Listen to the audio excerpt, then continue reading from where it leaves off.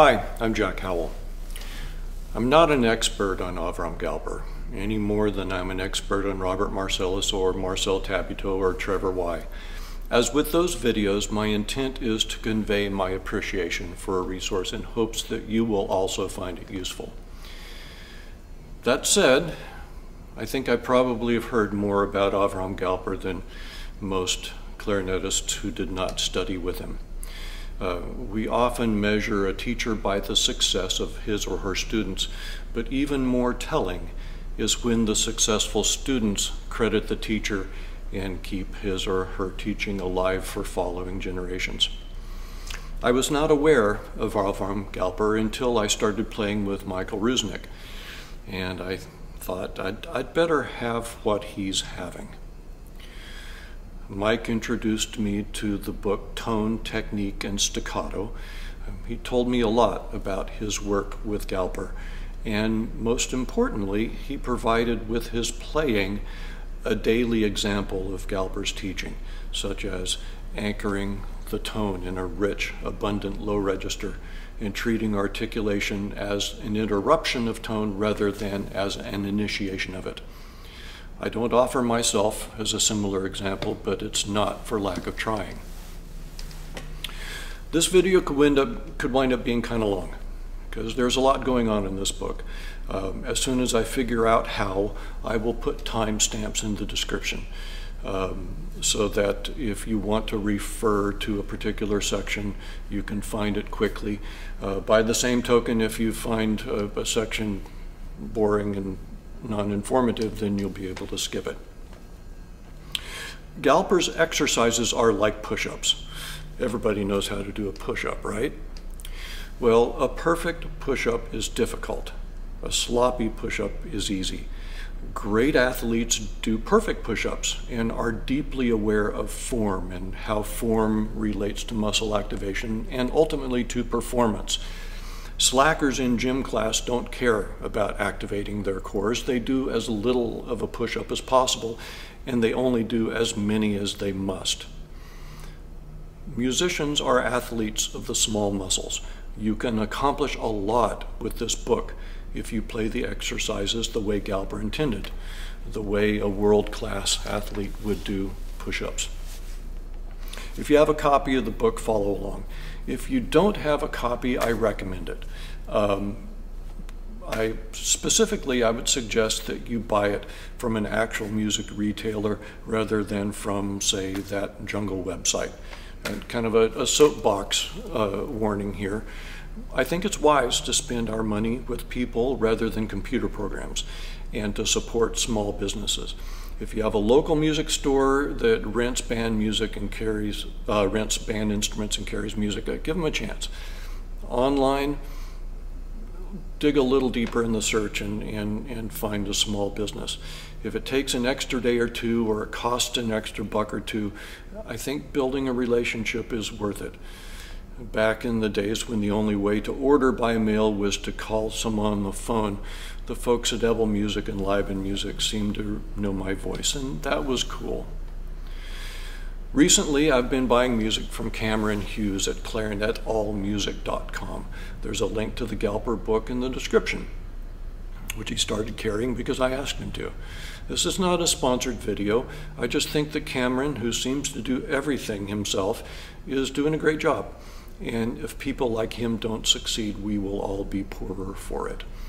When I couldn't find the Tabuteau CD um, anywhere except on the Jungle website for 45 bucks, Cameron started carrying it. So now you can get it for $16. And if that seems backwards, maybe do a search on dynamic pricing. I'm not telling anyone what to do. I'm merely suggesting that you give it a moment's thought. The first link in the search isn't the first link in the search because that company cares about music or about musicians. Okay, off the soapbox onto the book. Um, this is a this is one of the fundamental resources that I use a lot. I made a video called Baermann 3 and the Good Life where I talked about the rationale for a consistent fundamental warm-up. Uh, and in that video, I said that Baermann should not be our only source for fundamental exercises. There's a big difference between consistency and routine. And one of the dangers we face in practicing is becoming too comfortable with a regimen or an exercise and simply repeating it without being fully engaged and focused. I always say thoughtless repetition is corrosive. So it's a good idea to switch things around periodically, if for no other reason than to avoid getting stuck in a rut and developing bad habits. Tone, Technique, and Staccato uh, is a book I use with every student at some point, and it's part of my own practice of rotation. Like Baermann, Galper should not be your only fundamental resource forever, but I think there is something in it for everyone, and this is how I use it. And just to make sure that I wasn't completely off base, I sat down with Mike Rusinek a few days ago and went through the book in, in detail for his and Galper's advice. He had some points of emphasis that I will mention in due course. Galper's approach to the clarinet was both logical and rigorous, passionate and artistic. Most of the book is in eighth notes, not sixteenths. There's a reason for that. Rest assured that Galper's students also consumed a steady diet of Baermann and played plenty of 16th notes. But first things first, Galper clearly saw no point in playing a blizzard of notes before building a strong foundation of doing simple things beautifully. And beautifully is the key word. We must not create a division in our minds between technique and music. They are the same thing. And while Galper doesn't put it exactly like that, his exercises are all clearly meant to be played musically, not mechanically. He says so. So, speaking of what Galper says, the first thing I draw your attention to is, is his introduction. Um, I'm often surprised by the number of students who have had this book for a period of time and have never read the introduction. When Galper says that practice does not make perfect, perfect practice makes perfect. When he says that practicing fundamentals is like putting money in the bank, he reminds us of what every decent teacher in the history of teaching has said. For the student new to this book or to this approach, I recommend taking a minute every day to read the introduction, 10 tips for successful practicing, until you know it by heart. Galper's advice, in my opinion, is unassailable. And like a mantra, if you repeat it often enough, you will become it. So let's get to the exercise, beginning with the low register exercises, which I will call section A. Uh, and Galper gives a, a paragraph, paragraph, or two how to use this section. Um, there are 23 of these exercises, pages 10 to 15. Galper was of the Simeon Bellison school in believing that a beautiful clarinet tone is built upon a solid, rich, abundant first register, out of which we select the harmonics for the upper registers. This isn't how I was taught. I was taught more in the Bonade school, where you start with a beautiful, clear sound in the upper register and, and try and propagate that clarity down into the lower register. But listening to Mike brought me around. So as Galper says, these low register exercises are the foundation of everything else that follows. So when you play them, you use a vibrant sound, you create quantity first, then control and shape it. And this starts with the instant the tone begins. If you watched my interview with Mike, you may remember him saying that he wants his first molecule of air to make sound. Putting our best sound at the point of the stick is what we generally, generally call the attack. Uh, my colleague Ron Samuels objects to this term because of its aggressive connotation. Indeed, if you look it up in the dictionary, the only meaning that does not involve force or suddenness or hostile intent is the last one, the beginning of a musical phrase. So while I would argue that we musicians know what attack means in music, and therefore a gentle attack is not an oxymoron. I'm also open to the possibility that there's a better word. If you have one, please leave a comment. In any case, I was taught that we always begin a tone with the tongue on the reed. That's what Bonade said. Galper's approach is different. It is that the tongue makes no sound. Only the air can make sound. The tongue can only arrest the sound by stopping the vibration of the reed. Therefore, we should train to begin the sound at full quantity with the air only, without using the tongue as a consonant crutch. Then, just as with speech, we have options to begin the phrase. This is very important. While we may choose to use the tongue for security or a particular music effect in making an attack, if we cannot begin the phrase exactly on time without the crutch of biting the reed or damming up the air with the tongue, we have the musical equivalent of a speech impediment.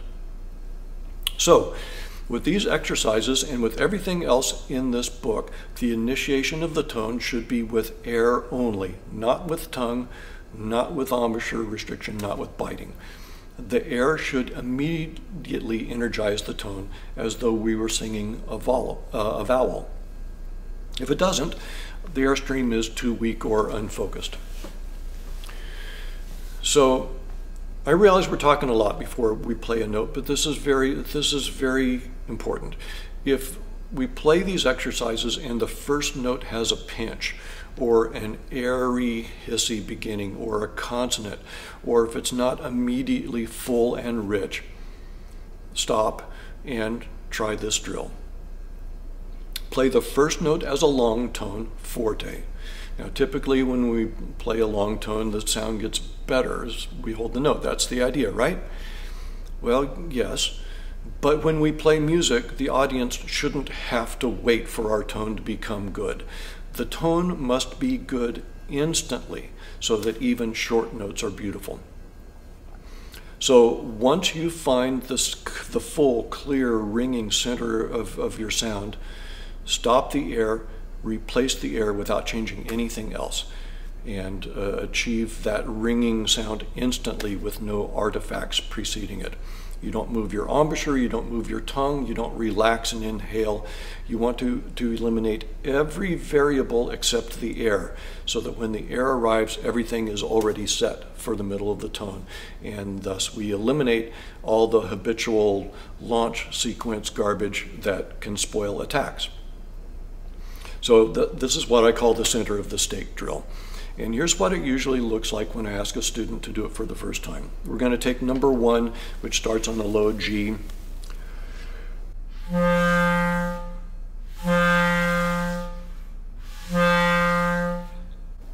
And I say, no, here's what I'm looking for.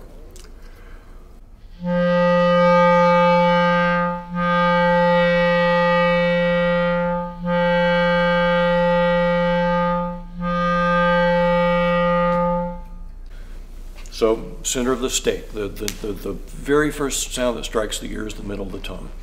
And all my students know that that drill is coming when they make a, a hissy or a bitey or, or a tonguey attack.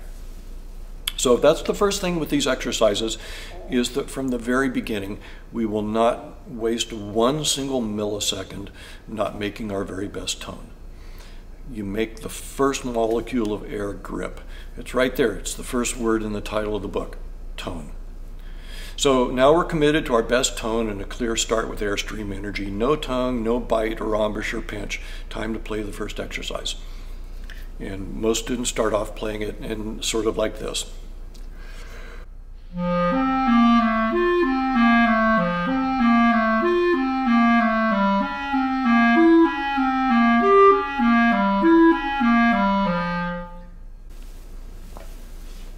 So I say that's we're playing notes. We're not playing intervals. That's mechanical, non-committal finger wiggling for the sake of technique. When we create a thought distinction between technique and music, we're wasting our practice time. If you play exercises mechanically and without passion or beauty, you'll play Mozart mechanically. And then you'll spend the plane ride home wondering why you played perfectly and didn't get out of, out of the preliminary round. Students almost always play these exercises too fast at first. And I thought I played them slowly. But when Mike played them for me, as we went through this book, I was surprised at just how slowly he plays them, even more slowly than, than I would have.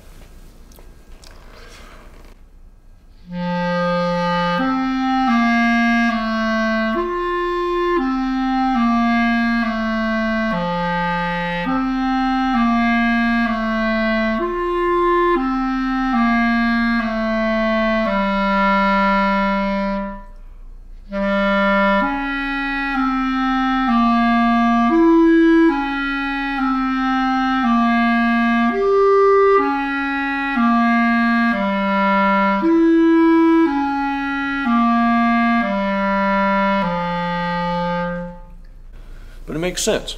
Improvement in this section lies in striving for perfect legato, for perfect sound, for perfect color matching, for full commitment to our best possible tone, and then a perfectly clean attack of every phrase. The slower we play, the harder it is. As he said, perfect practice makes perfect. So imagine these exercises as a, a clarinet solo in a Brahms symphony. Make every interval a singing interval. And if you don't know what I mean by that, I invite you to watch my video called The Wisdom of Marcel Tabuteau. So you play musical phrases, play between the notes. Don't humor or back away from any notes. Work hard. We are building musical muscle by doing simple things, not just perfectly, but beautifully. And when you need a breath, as Galper instructs, hold the first note of the next bar, take a breath, then resume on that same note.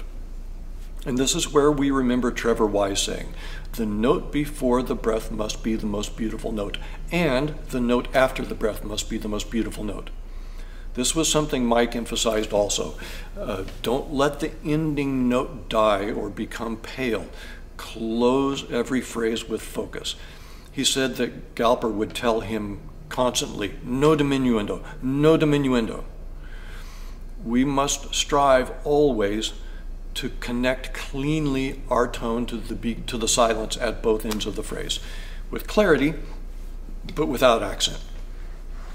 Now, when you think about it, closing a phrase with focus is the same thing as beginning it with focus. And it's hard, especially when the phrase ends softly but it is just as important and it is commonly neglected. Many wind players get to the end of a phrase and sort of abandon it, and I can't stand that. It leaves no core or pitch to the sound, and anyone who has to play in tune with and tune the end of the phrase with, with you, it's just hung out to dry. So don't bail out, fly the plane all the way to the ground. If there's one thing I've learned from Mike, it is commit to the phrase and make it stick. Don't be a milk toast. Don't sneak in, don't sneak out. You can be delicate and bold at the same time. You can be definite and precise without accent. And I would argue that all great musicians are. So practice it here and it will become a habit. Also, it's not too soon to be thinking about pitch. If your first register is out of tune, upper registers won't fix themselves. And like so many things that are connected, intonation and tone are the same thing.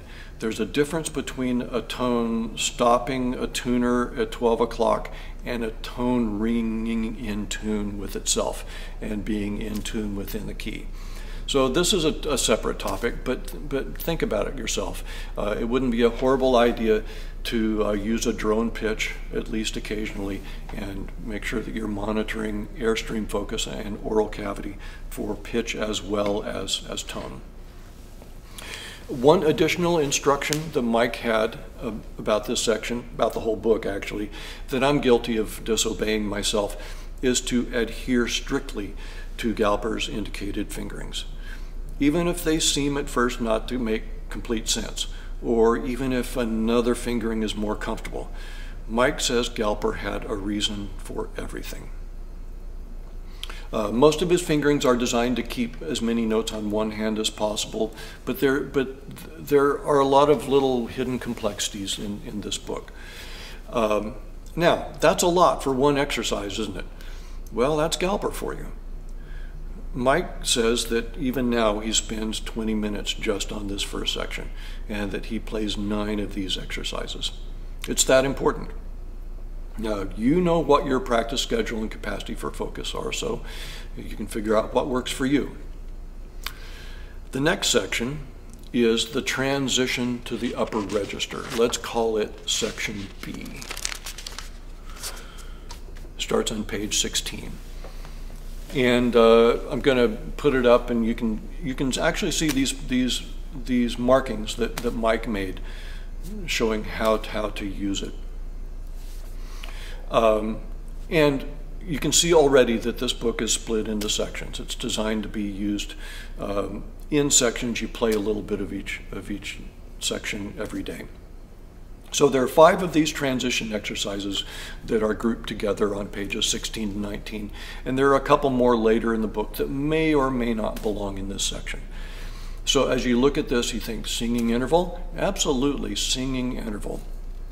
As you play the lower note, feel the upper register note in your airstream focus and oral cavity so that when you gently crack open the register key, the voicing is already there and the note comes softly with no hesitation and no accent.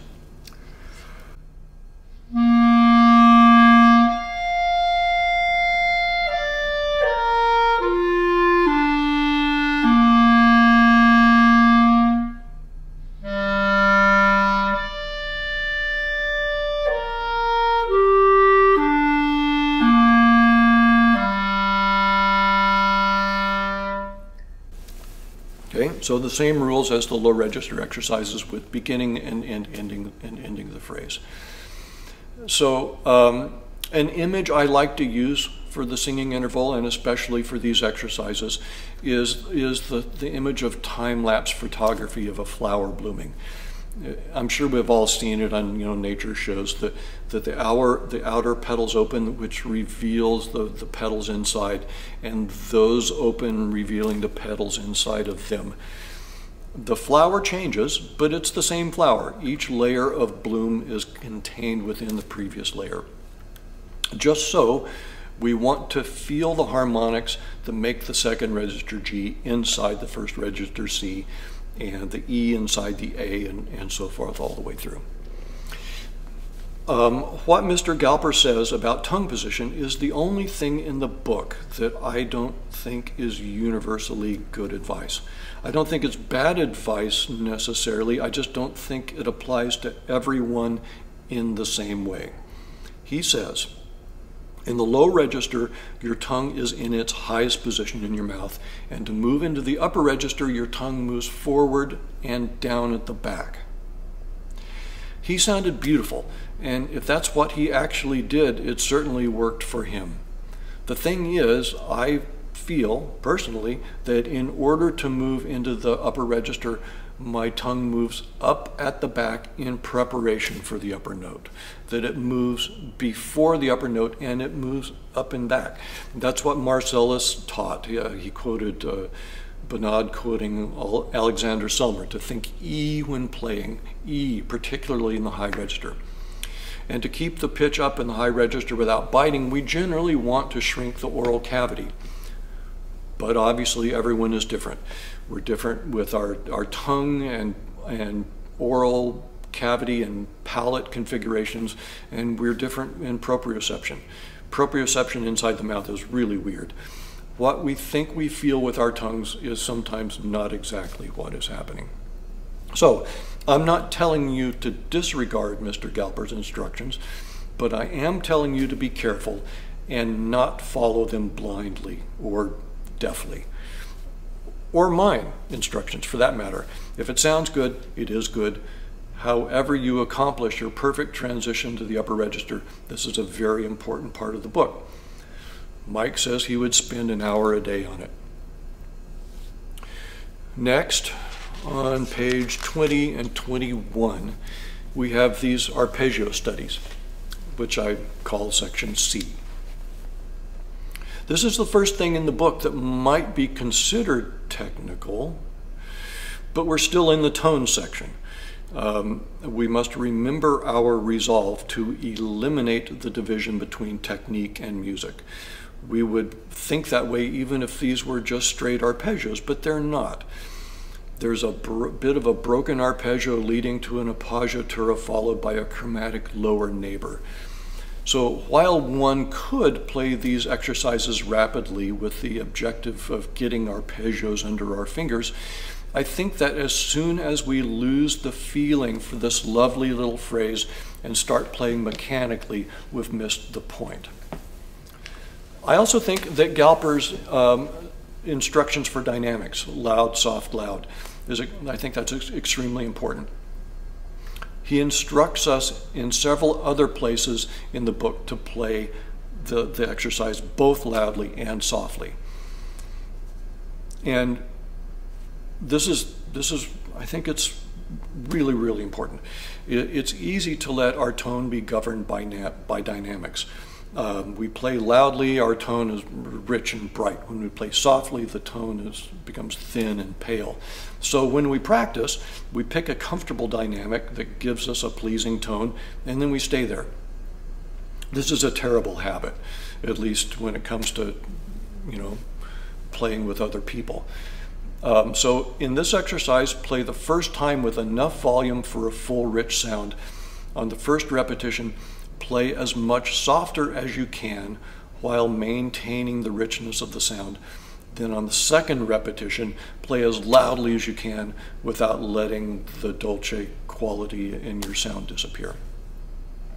You will note that playing beautifully and in tune at dynamic extremes is really hard. That's the point.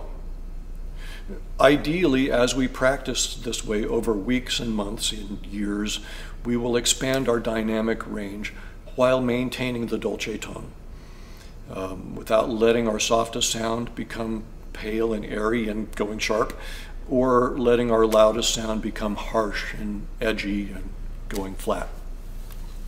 So moving on. Uh, the exercise on page 22, the first one, it says the exercises can help you move smoothly into the altissimo ranger, uh, in altissimo register. Um, that's very similar to the previous transition exercises, um, but the altissimo changes things, like a lot. Um, I think this exercise, which I mark B1, is very good if you don't have a problem with biting if you do have a problem with biting, this might be a bad place to fight that battle. So, if you have a strong, effortless, non-biting altissimo, knock yourself out. Otherwise, save this one until the second register transition becomes effortless.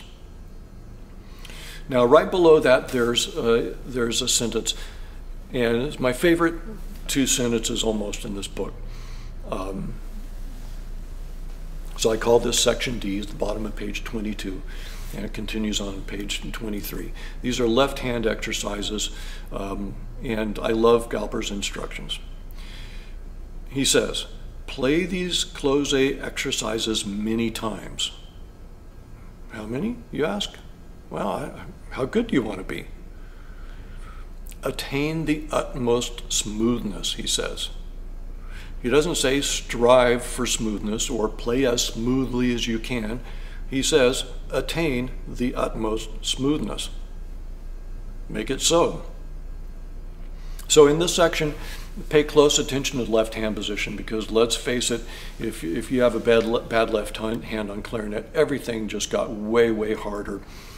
Um, the natural curve of your left hand should allow your left index finger to contact all three necessary points simultaneously, and you can move from one to the other with intentional, controllable overlap. The rest of the curve in the rest of your hand should support this position. If any of your fingers splay out flat, it's not necessarily the kiss of death, but it does create unnecessary difficulty, particularly with the pinky, because if your pinky is straight, you wind up moving your entire arm to change keys.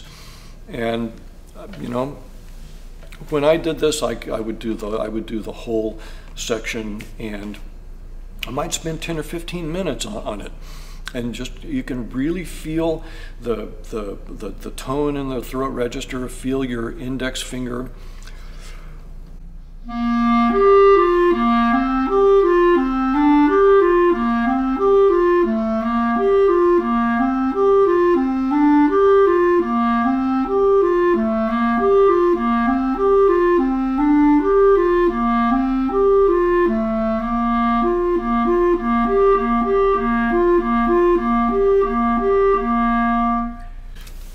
Can, you can spend a lot of time doing that. It goes without saying that it's important to focus on tone in the third register. It's the weakest part of our range acoustically, but we don't want it to sound like that. So moving on, on page 23, there's another register change exercise, which is a fragment of Rose 40, number three. It's a good exercise. Uh, and you could do it here in your warm-up as a quick reminder of the singing interval, or you could make it part of section B. Uh, in students' books, I mark it B2. I would guess that Galper intended it to be done every day here, but uh, you will tailor this book to your needs and your schedule. Next, we have the Kroepsch exercises, and which I, in students' books, I write this section E. Um, so note that this is the first part of the book that is called technique. And even so, the first thing Galper says about the Kroepsch exercises is that they are there for tonal control. And he says to play them both loudly and softly. Um, he says, uh, in either case, take care to play with the same good tone. Alternate the slurs and staccato notes carefully. Only after you know these exercises well should you play them more quickly even then strive for clarity of articulation. Um, hard to argue with that. Mike drew my attention to the fact that Galper wrote these exercises, which Kroepsch notated as sixteenths and eighth notes to avoid undue emphasis on speed. Um, that said, without de-emphasizing the importance of playing these exercises for tonal control, here's another approach I use with them, both for myself and for students, but yeah, mostly for students. Um, in my interview with Ted Saluri, he said that we all teach our weaknesses. I found that to be an interesting observation, and I've, and I've thought about it quite a bit. Mike said, that Galper always said, that the faster you want to play, the slower you should practice. And I agree entirely that speed comes not from effort, but from combined precision and relaxation. Like any mechanism, the clarinet playing machine suffers from friction and tension and excess motion. Having a pattern under one's fingers and then letting it run is one thing. Quickly acquiring a new pattern or sight reading is another thing.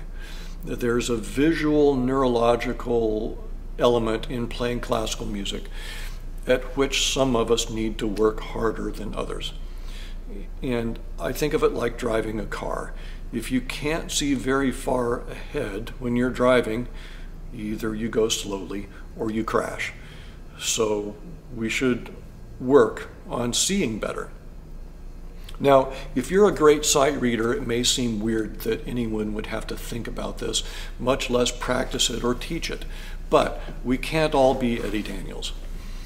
At, at this, while at this point in my career, I've proven to myself that I can play anything in the repertoire one way or another, and I can sight read well enough to stay employed. I also recognize that I didn't have Galperesque training early enough. And consequently, sometimes I have to learn music that some of my colleagues seem able to just simply read. And I say seem because it's part of professional music culture to conceal our work.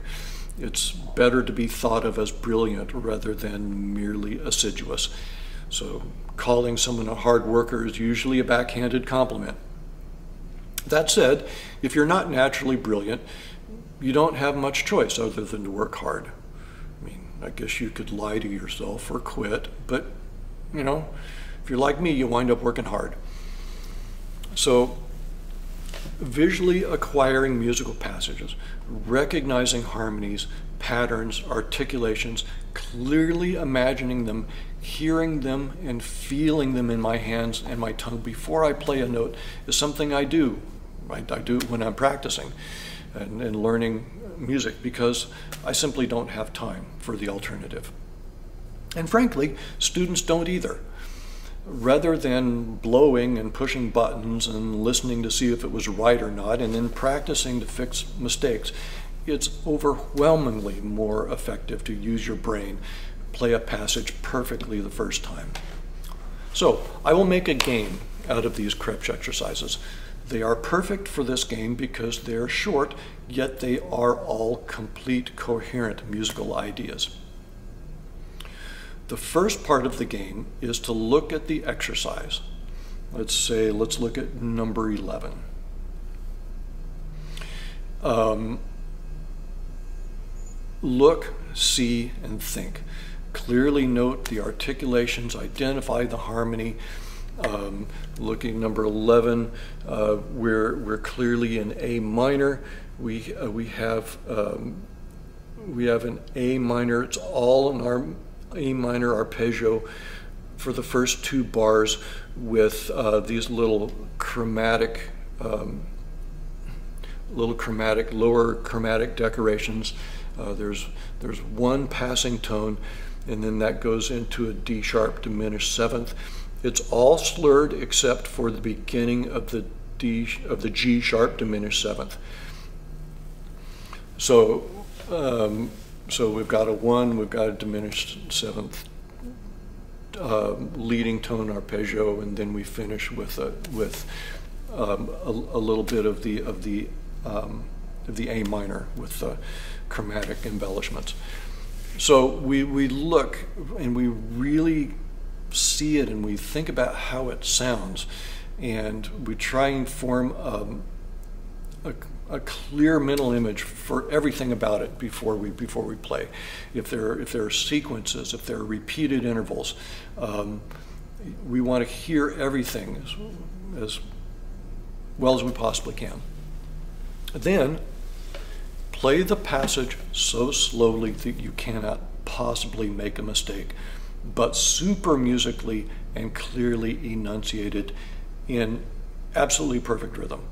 Robert Marcellus said that the correct tempo to play any passage the first time is that in which you can play it seven times flawlessly. So there you go. Um,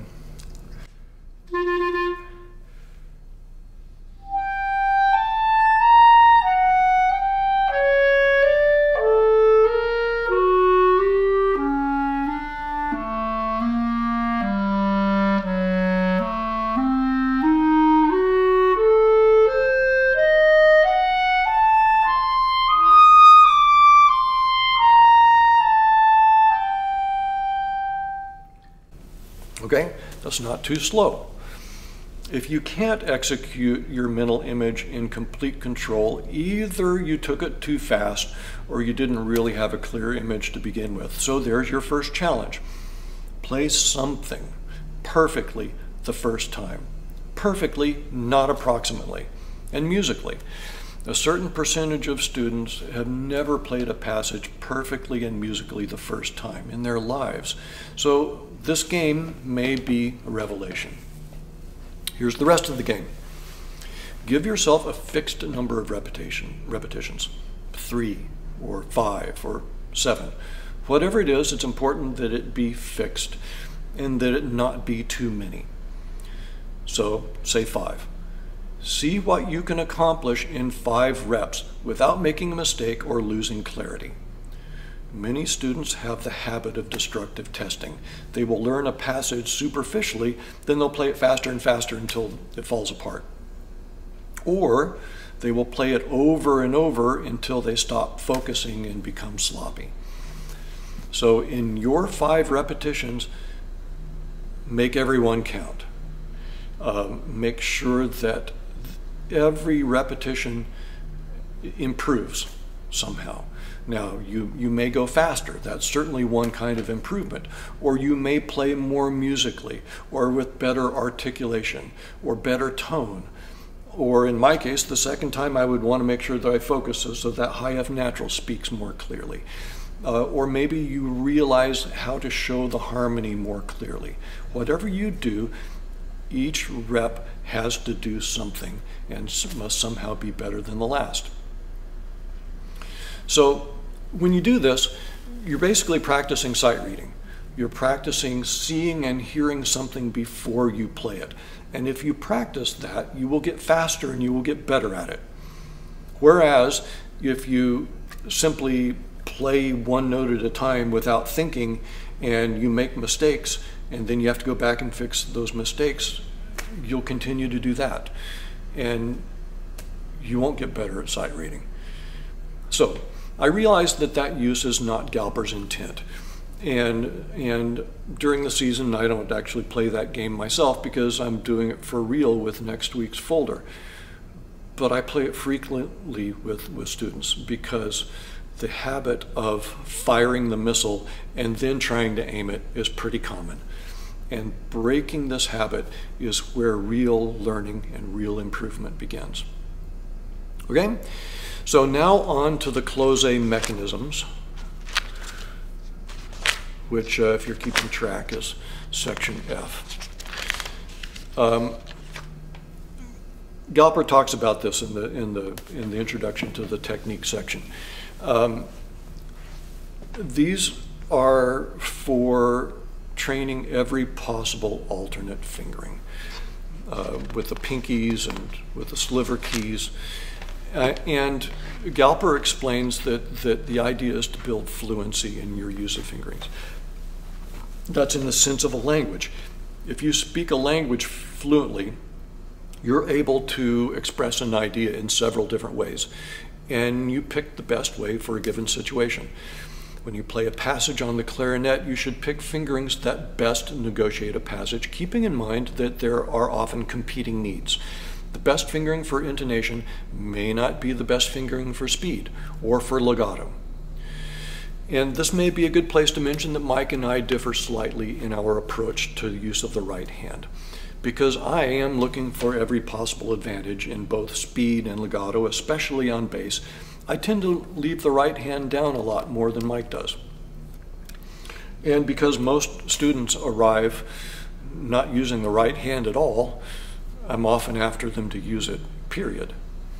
But uh, Mike runs a higher clock speed than I do, and he says that when Galper indicates R for right hand, that means only the pinky, not one, two, three as well.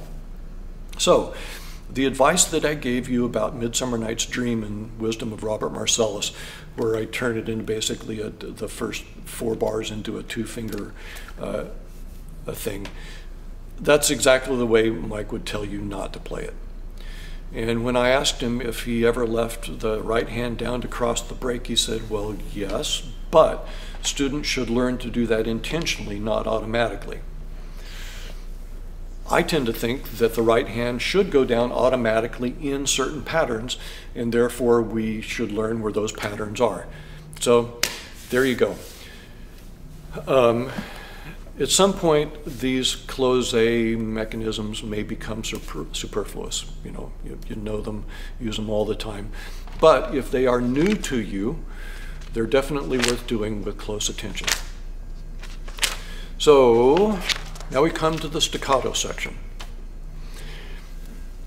So as with everything else in this book, pay close attention to Galper's instructions. Of particular importance is his advice to think of note groups as 2, 3, 4, 1 rather than 1, 2, 3, 4. This lines up with my advice to organize your rhythm according to where it goes. Um, most clarinetists are preoccupied with articulation speed and for good reason. However, as I have said before, beautiful articulation and fast articulation both live in beautiful tone. And if we must sacrifice tone to achieve articulation speed, either we're creating tone wrong or we're articulating wrong. The Dolce tone is your benchmark. A fair number of videos up to now have involved articulation mechanics. And if that seems like me teaching my own weakness, that's a fair cop. But if beautiful articulation and insufficient speed are not competitive, rapid articulation with bad sound isn't competitive either at least not, uh, not at the highest level. Anyway, I think that this section is best used primarily for articulation quality, that there are only two parts that are primarily for speed. But if you have speed, by all means, use it. As Russ Dagon said, articulation and tone are two sides of the same coin. First thing is, in these, in these scales, Galper writes a run-up bar. It starts with an eighth rest and then, and then continues. Um, you want to use this carefully. Um, don't repeat the eighth rest as you, as you play the bar. And for heaven's sake, don't breathe on it. Uh, as I often say, breathe on, in the relative eternity that precedes that eighth rest. Play a long tone if necessary to establish your articulated tone, that, that it's exactly the same as your long tone. And then as you play, you should feel that your tone is powering your articulation. The articulation should feel relaxed and, and easy. And if your articulation or your tone suffers once you start moving your fingers, it's time for Bonade's advanced finger staccato. Just so happens I have a video about that. Something interesting, uh, Mike plays with super clean advanced finger staccato, but he says that Galper never told him to do it, and he never actually practiced it as such. It just seemed obvious. So there you go.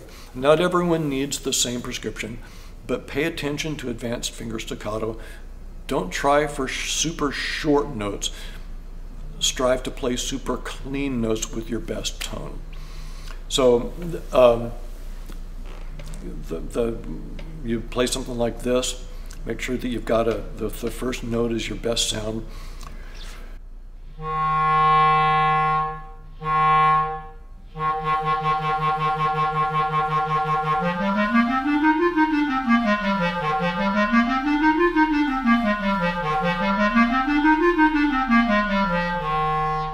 Whatever the, the, the number of beats, I was just, I just do the exercise until I run out of air and then close with focus. Um, the arpeggios on the bottom of the left page, uh, where Galper says to, to play at one speed and then twice as fast, those are good for speed. Um, and the section at the bottom of the right hand page where you start with a short fragment and then in your best tempo and then gradually lengthen it until you're playing two octaves articulated. That's obviously for speed, but not at the cost of clarity. Um, the exercise at the top of the right page with the expand, expanding intervals is especially good if you focus on maintaining a stable embouchure and oral cavity.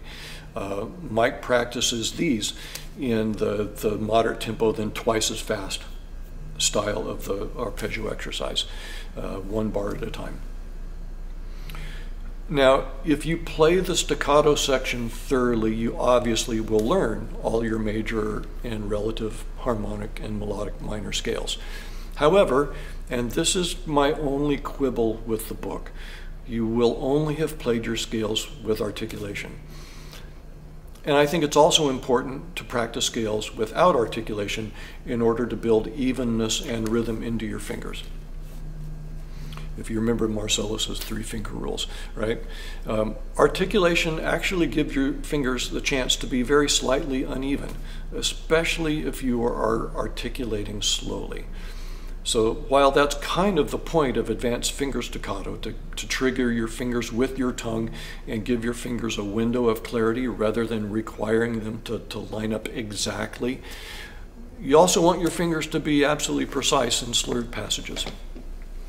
So if you're using Galper as your primary warm-up, I suggest adding a legato scale component. You could use Klose, you could use Baermann, or you could just play these exercises uh, legato.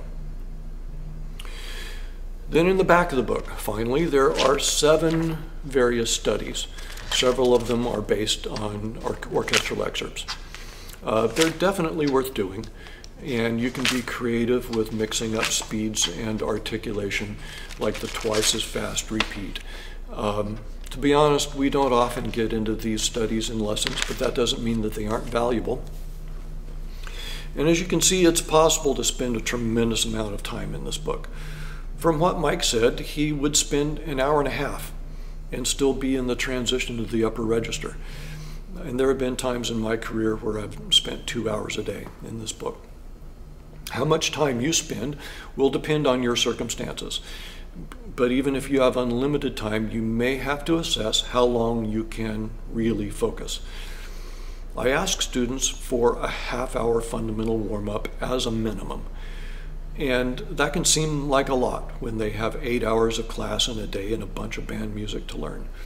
But the fact is, the band music is usually taking students a long time to learn because they haven't acquired adequate fundamental technique. So let's conclude by quoting Mr. Galper from his preface. He says, in my career as a teacher, I have found that those students who possess great technical command of the instrument are the ones who are able to handle difficult passages with ease. Such mastery frees you to concentrate on the music rather than on the clarinet itself. But there is no shortcut. Practice is the key. The time you invest each day practicing the exercises in this book is like money you put into your savings account. When a difficult passage comes along, you can tap into your account and withdraw what you need to play the passage easily and well. Yep, that's about the size of it. Go get them.